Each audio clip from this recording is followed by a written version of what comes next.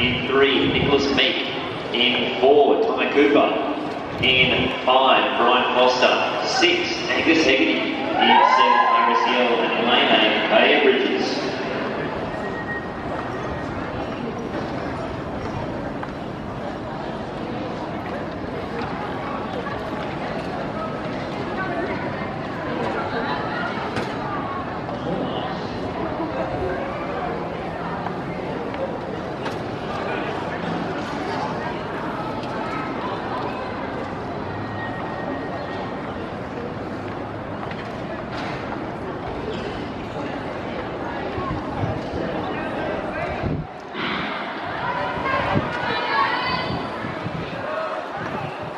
They're in the under 15 Tappers Hill and Brian Foster.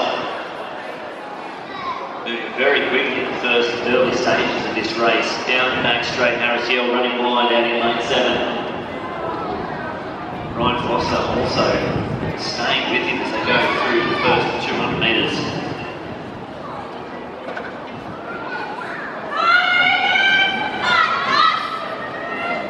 As we come around to the final bend, Harris Yell, the big lead 100 metres left. Brian Foster trying to chase him down.